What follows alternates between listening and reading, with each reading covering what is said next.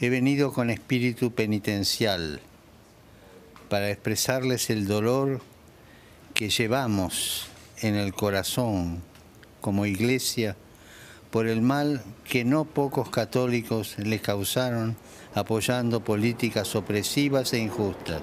Admitiendo dolor y vergüenza, el Papa Francisco aboga para que se logre una conversión y que los abusos sucedidos en las escuelas residenciales nunca más se vuelvan a dar.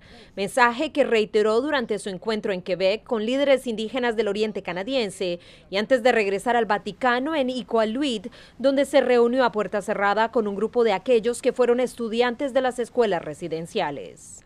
He venido como peregrino con mis limitadas posibilidades físicas para dar nuevos pasos adelante con ustedes y para ustedes, para que se prosiga en la búsqueda de la verdad, para que se progrese en la promoción de caminos de sanación y reconciliación, para que se siga sembrando esperanza en las futuras generaciones de indígenas y no indígenas que desean vivir juntos fraternalmente en armonía.